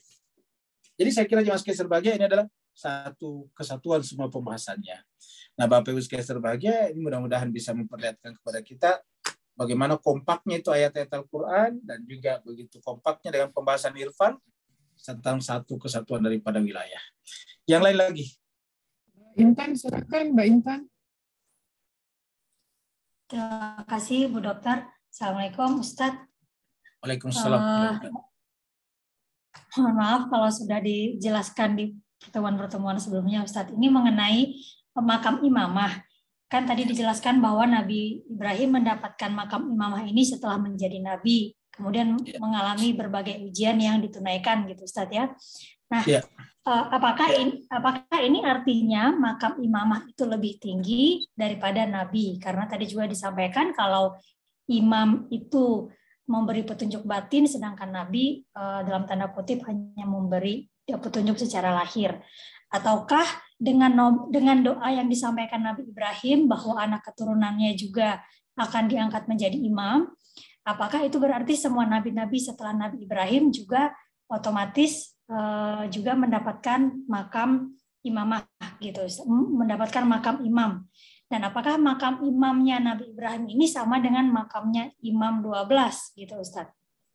Uh, itu dulu Ustaz pertanyaannya. Terima kasih Ustaz. Baik, terima kasih banyak atas pertanyaannya. Jadi cuma sekali bahagia, tidak ada makna lain yang bisa kita pahami, tidak ada faham lain yang kita bisa tangkap dari surat Al-Baqarah ayat 124 tadi, kecuali bahwa imamah itu lebih tinggi atau kelanjutan daripada kenabian. Karena itu jelas peristiwa itu terjadi di ujung-ujung kehidupan Nabi Ibrahim. Ya, setelah Nabi Ibrahim diperintahkan menyembelih putranya dari itu di ujung itu Nabi Ibrahim saja punya anak, jadi istrinya Nabi Ibrahim lahirkan itu diperkirakan umurnya Nabi Ibrahim sudah 96 tahun sampai ketika Jibril datang mengabarkan kepadanya kalau dia punya anak, dia akan punya anak. Istrinya mengatakan, wahai Jibril, bagaimana saya bisa punya anak? Saya kan sudah sangat, saya kan saya, saya ini kan sudah menopause. Suami saya juga sudah sangat tua, rentak, gitu. Jadi menunjukkan dia sudah tua sekali. Pertemuan-pertemuannya dengan malaikat itu menunjukkan itu makamnya sudah makam Nabi. Tetapi di penghujung kehidupannya tiba-tiba wa izi betala Ibrahim rabbu bi kalimatin tadi muncul baru dikatakan ini jailu kalinasi mau. Jadi tidak ada makna lain yang bisa kita tangkap bahwa imam itu. Tinggal bagaimana menjelaskan kok bisa makam imam lebih dalam daripada makam kenabian. Nah, ini yang kita terangkan. Jadi jemaah sekalian serbahagia, kita kita lihat bahwa yang namanya nabi itu nabi ya. Nabi datang kepada masyarakat dalam keadaan jahiliyah. Jadi bukan hanya Nabi Muhammad semuanya. Jadi datang kepada masyarakat. Kata jahiliyah itu dari kata lawan daripada aklia. Jadi tindakan-tindakannya itu irasional, percaya kepada macam-macam. Jadi itu namanya adalah jahiliyah. Ya. Jadi Nabi datang kepada masyarakat jahiliyah. Masyarakat jahiliyah itu kita artikan dengan masyarakat yang berada di titik nadir terendah kualifikasi kemanusiaannya. Ya. Jadi kita ulangi lagi namanya masyarakat jahiliyah berada di titik terendah, di bottomnya, di titik terendah, di titik nadir kualifikasi kemanusiaan. Paling rendah kualifikasi kemanusiaannya. Bayangkan kita lihat pada zaman Nabi kita.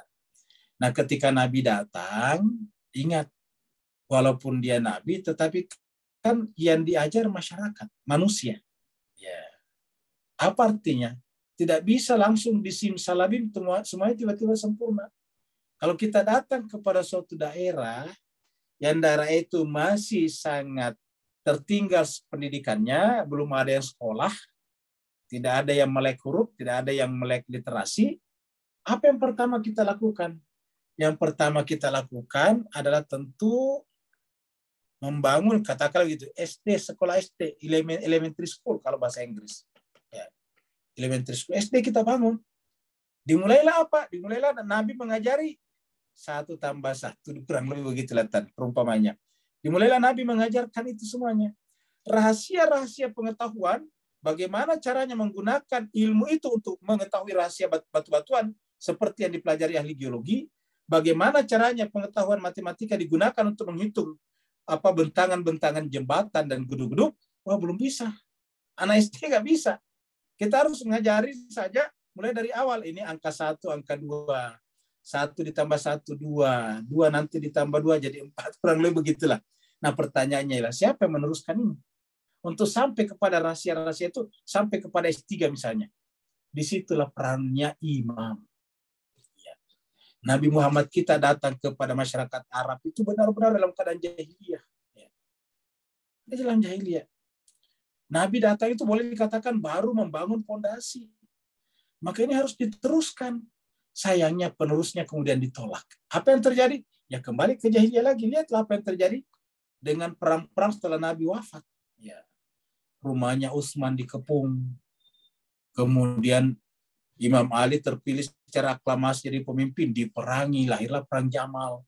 Perang Jamal gagal, lahirlah perang Siffin. Ratusan ribu orang meninggal dunia. Luar biasa. Kembali ke zaman jahiliyah lagi. Dan puncak jahiliyah ini bisa kita lihat pada kasus Karbala.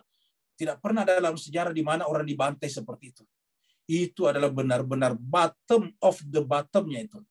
Ya, dasarnya dasarnya tidak adanya kualitas kemanusiaan manusia.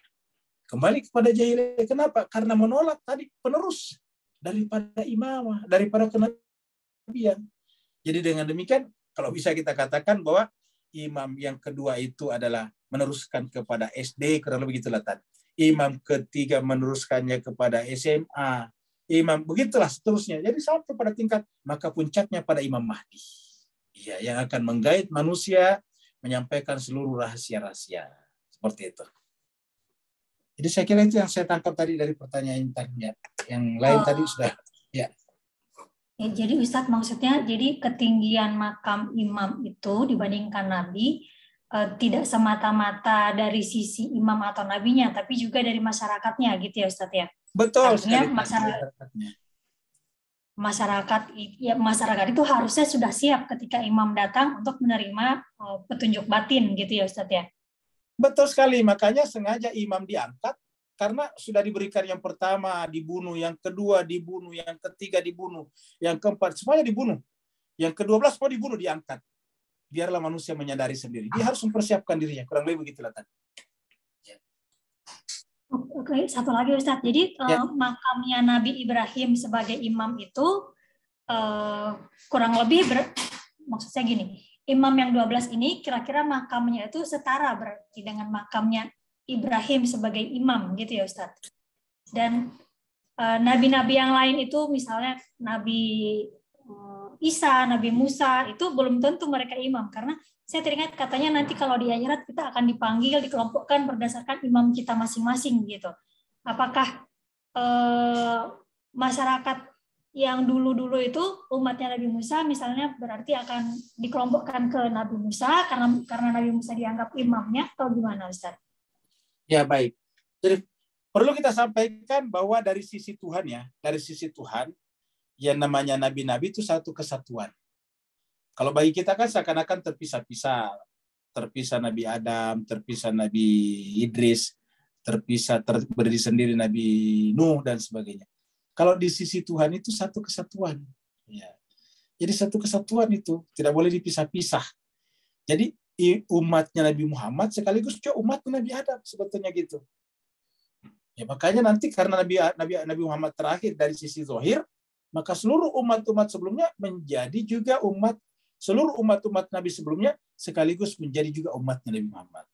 Kenapa? Karena konsekuensi daripada tugas kenabian Nabi Ibrahim diteruskan, diambil alih oleh Nabi Idris. Berarti Nabi Idris ada dua di dalamnya, Adam dan Idris. Nah sekarang, tugas Nabi Adam dan Idris setelah Idris meninggal, diteruskan oleh Nabi Nuh. Dengan demikian dalam diri Nabi Nuh ada tiga tugas kenabian padanya, yaitu Adam, Idris, dan pada dirinya Nuh. Begitulah seterusnya. Nah sehingga apa yang terjadi? Kalau kita tarik begitu, semuanya berkumpul pada Nabi Muhammad. Dan inilah yang di yang dibicarakan, diabadikan di dalam surat Ali Imran, surat 3, ayat 181.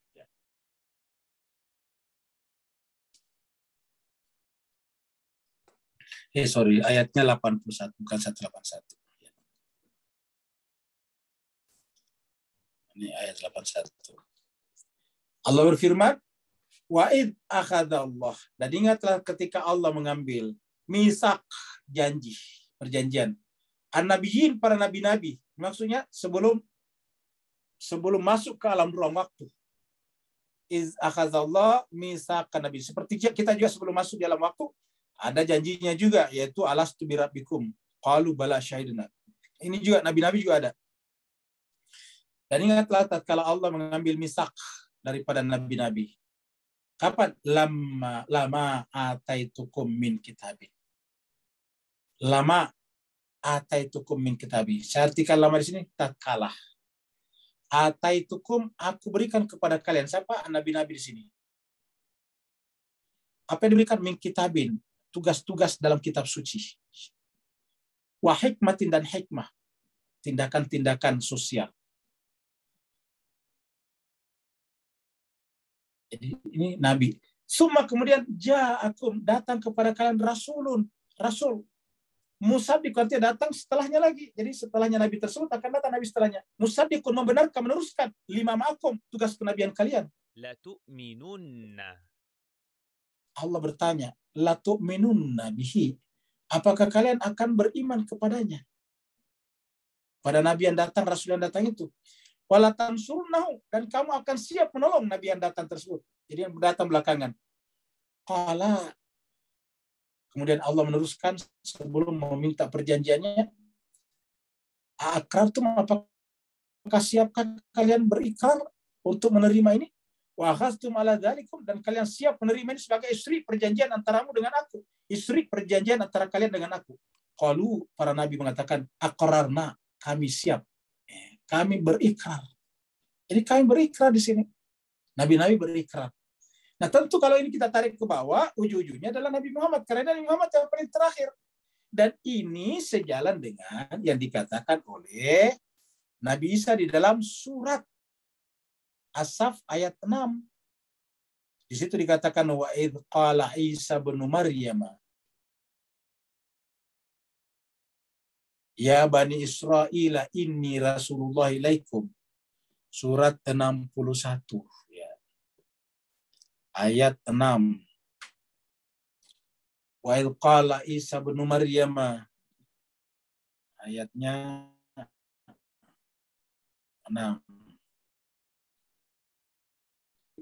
Ini Rasulullah ilaikum. Aku ini adalah Rasul Allah bagi kalian. Musaddiqan membenarkan lima baina yadayya. Membenarkan apa yang sudah ada sebelum saya, yaitu Taurat. Taurat. Wa mubasyirat tapi sekaligus memberikan kabar birasulin bahkan ah, masih ada datang lagi nabi setelahku. Yati datang mimba di setelahku ismuhu Ahmad. Nah, jadi jelas sekali turut urutan-urutannya. Dengan demikian maka memang pada setiap uh, umat itu akan dipanggil berdasarkan imamnya tadi. Sebenar nabi-nabinya tetapi nanti para nabi-nabi itu juga ujung-ujungnya juga berwilayah kepada Nabi Muhammad sehingga sebetulnya apa namanya pewaris seluruh nabi-nabi dari Nabi Adam sampai kepada Nabi Muhammad adalah yang terakhir pada Imam Mahdi tadinya. Karena Imam Mahdi datang dalam rangka menjalankan tugas-tugas kenabian tadinya yang oleh masyarakat belum diterima secara sempurna. Karena tadi kita sudah lihat masih masih masyarakat masih masyarakat SD terus kemudian nabinya meninggal dunia. Sehingga diteruskan oleh imam-imam berikutnya tapi sudah sampai pada 12 imamnya mereka ternyata masyarakat tidak mengetahui juga eh, me, me, me, me, bagus juga. Dia diutus lagi nabi berikutnya. Begitulah sampai kepada Nabi Muhammad. Kita khusus untuk Nabi Muhammad setelah sampai kepada imam yang ke-12 tidak mungkin lagi diutus nabi berikutnya. Kenapa Allah sudah mendeklarasikan Muhammad itu adalah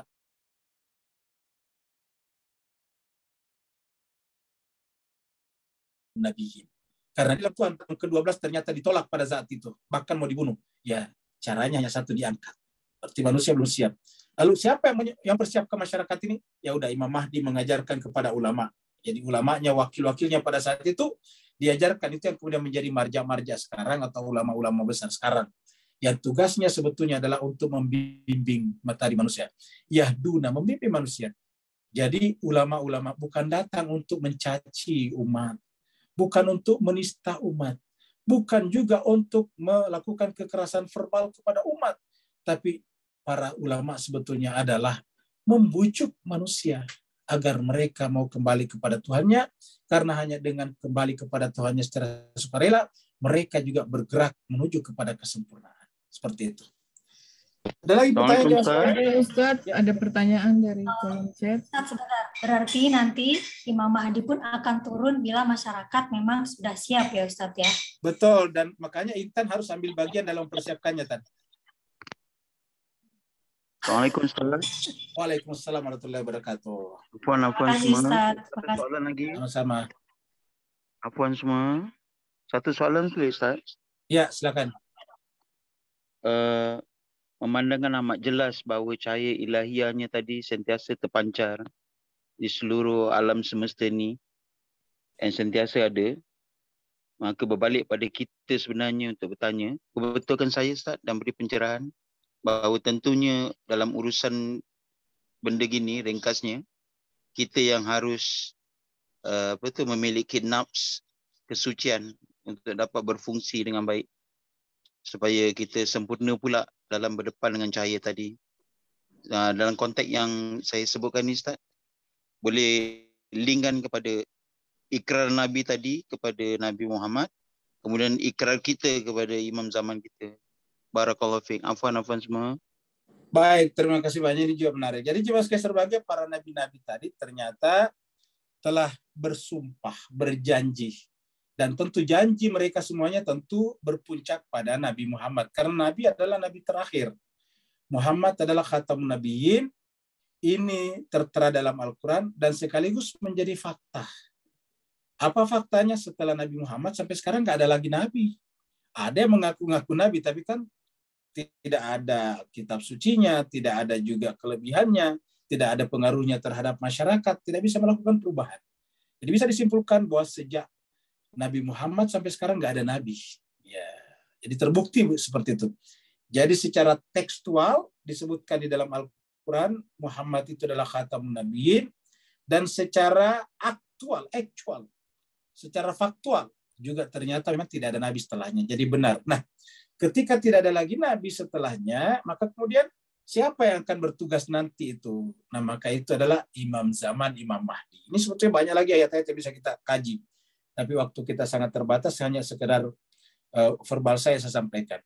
Jadi oleh sebab itulah, kalau para nabi-nabi itu berjanji kepada Nabi Muhammad, maka kita sekarang ini jemaah sekalian, pada zamannya imam zaman ini goib, dan dia adalah imam yang incumbent, maka kita justru berjanjinya kepadanya. Lagi-lagi seperti yang selalu saya katakan, untuk membuktikan ini, mari kita selalu membaca doa ahad. Karena inilah janji kita, inilah pertemukan kita. Jadi dari atas para nabi-nabi kepada Nabi Muhammad, sedangkan para imam ini adalah merupakan wasi-wasitnya Nabi Muhammad kita. Yang tidak terpisahkan dengan tugas kenabian Muhammad. Walaupun disebutnya dengan imam atau wilayah tadinya. Kenapa? Karena nabi yang berstatus nabi itu adalah Muhammad bin Abdullah. Maka setelahnya disebut dengan imam-imam. Ya. Kenapa imam lagi? Karena dia hanya tinggal menggait manusia. Sudah ada sudah ada apa namanya guidance-nya itu kitab suci Al-Qur'an. Nabi menerima kitab suci Al-Qur'an, Nabi menerima itu terus kemudian siapa yang meneruskan ini? Makna-makna daripada kitab suci. Tidak mungkin orang yang tidak suci, maka yang menyampaikannya adalah manusia suci juga. Karena tak ada kata-katanya la yamassuhu illal mutahharun. Maka kita jemaah sekalian termasuk saya tidak akan mungkin bisa menyampaikan kitab suci secara sempurna. Lalu apa tugas kita? Membaca kitab suci untuk memperkenalkan manusia kepada pasangan sempurna kitab suci. Yaitu syarikul Quran. Assalamualaikum ya syarikal Quran. Begitu kita sampaikan salam kepada Imam Mahdi. Nah jadi kalau nabi-nabi yang lain kepada Nabi Muhammad tadi, misaknya maka misak kita adalah kepada Imam Mahdi. Jadi dari Nabi Adam nabi-nabi. Begitu juga kita berjumpanya mereka di dalam diri Imam Mahdi. Itulah sebabnya tadi kita bacakan doa faraj, Allahumma kun li waliyikal hujjati binil Hasan salawatuka alaihi wa ala abaihi. Jadi sampai ke atas. Apa itu ala abaihi? Bukan hanya berhenti pada Nabi Muhammad, tapi sampai kepada Nabi Adam. Karena mereka semuanya adalah satu keturunan. Ya. Jadi wa ala abaihi itu bukan hanya berhenti pada Nabi Muhammad, tetapi sampai ke atas, sampai kepada Nabi Ibrahim, sampai kepada Nabi Hud, Nabi Saleh, Nabi Nuh dan sampai kepada Nabi Ibrahim, Nabi apa ya, Adam alaihissalam. Seperti itu. Nah, jemaah sekalian terbaik, saya kira itulah pembahasan kita pada malam hari ini. Masih ada Ustadz? Ya, Maaf, ada silakan. pertanyaan. Ya. Selamat bergabung juga buat Ibu Diandrina. Ibu siapa? Ibu Ibu Diandrina. Iya. Selamat datang dan selamat bergabung kepada Ibu Diandina. Semoga kehadiran Ibu senantiasa memberkahi majelis kita. Amin. Sekarang dari Pak Burhan nampak sangat betapa pentingnya wilayah ini dalam diri manusia yang sehariannya menuju kepada Allah. Begitu pentingnya ya fatal bagi mereka yang beriman tapi tidak beriman betul sekali. Apakah mungkin bisa saja saudara-saudara kita di blok sebelah sana hanya berpegang kepada wilayah? Rasulullah sedangkan mereka tidak nampak atau tidak sampai kepada pentingnya isu imamah. Ya, apakah mereka juga bisa? Nah, jemaah sekian serbahagia secara hitam di atas putih, putih tentu ini berat berdasarkan ayat-ayat tadi. Tapi justru itu yang menjadi beban moral kita semuanya untuk menggait mereka. Ya, ingat. Maka kita adalah pelaksana tugas-tugas imam zaman semuanya. Kita harus menjadi bagian dari kita. Jangan sampai diri kita, tindakan kita, perbuatan kita menyebabkan orang lain itu benci kepada kebenaran, terutama benci kepada imam zaman. Jadi siapa pun di antara kita harus menjadi semacam duta, pembujuk manusia untuk mengenal imam zamannya. Itulah kewajiban kita. Kita tidak boleh menyindir mereka, kita tidak boleh menyakiti hati mereka, kita tidak boleh membuat perbuatan dan perkataan yang menyebabkan mereka lari daripada kebenaran. Kalau mereka lari kebenaran karena kata-kata kita, ini nanti berat pertanggungjawabannya di hadapan Allah SWT. Oleh sebab itulah kita melihat mereka sebagai teman, sebagai sahabat untuk kita ajak dengan baik. Tentu kita tidak bisa mengajak langsung mengatakan jadilah seperti saya, tetapi kita membangun relasi hubungan dengan mereka dengan sebaik-baiknya. Kita menghindari konfrontasi, kita menghindari hal-hal yang bisa menyebabkan terjadinya gap, terjadinya apa itu namanya tuh kesenjangan antara kita dengan mereka. Seperti itulah. Itulah tugas-tugas kita semuanya. Jadi inilah saya katakan tadi kita semuanya harus menjadi membantu imam zaman dalam melakukan ini. Itulah sebabnya disampaikan dalam Al-Quran, ciri-ciri orang mukmin yang sejati ataukah pengikut Nabi yang sejati adalah bil mu'minina raufur rahim. Kepada orang lain, kepada orang mukmin terutama, raufun rahim, maha pemaaf dan maha mengasihi. Apa memaafkan dan mengasihi. Itulah sifat Nabi. Laqad ja'akum rasulun min anfusikum azizun alaihi manitum. Terasa berat rasanya bagi Nabi penderitaan kita yang tidak mengenal imamah, tidak mengenal wilayah ini. Harisun alaikum dan Nabi berjuang untuk membuat kita mengenal Tuhan dengan benar. Azizun alaihi manitum harisun alaikum bil mu'minina rauf rahim. Ini juga harus kita amalkan dengan sebaik-baiknya. Terima kasih banyak Bapak sekalian atas pesertaannya dan partisipasinya. Diskusi kita menarik. Walaupunikum. Wassalamualaikum warahmatullahi taala wabarakatuh. Waalaikumsalam warahmatullahi Waalaikumsalam warahmatullahi wabarakatuh. Terima kasih,